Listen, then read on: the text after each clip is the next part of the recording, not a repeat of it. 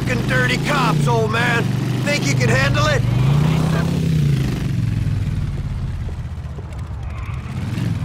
How do I look from behind, man?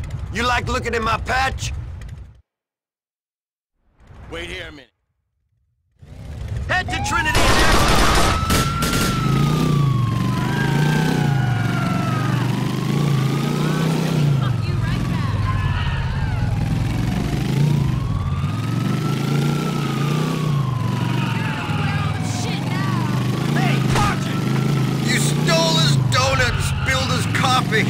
Real mature, man. We don't want to piss him off too much. Not yet, at least. Maybe you should have stolen his lunch money. Maybe you should be on the fucking stage with jokes like that.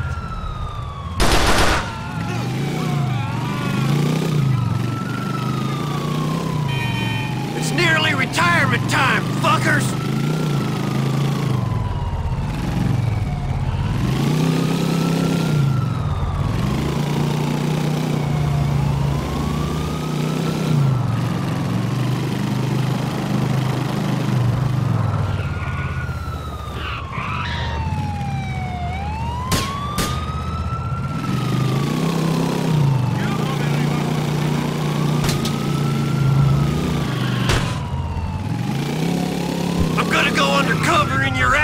Dickheads!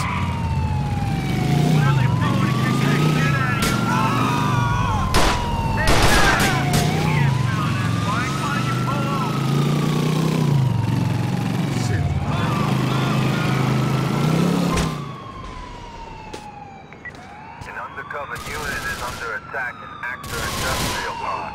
Backup